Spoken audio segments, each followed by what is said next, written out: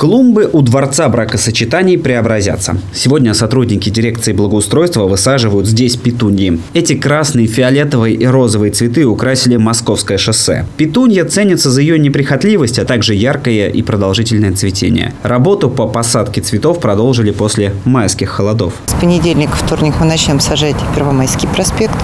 Работу планируем выполнить за 2-3 дня. Затем э, мы будем сажать клумбы на второй Рязани.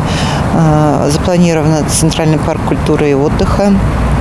Также, наверное, через неделю, может быть, на следующей неделе мы поставим вазоны на разделители на, на новоселов на улице.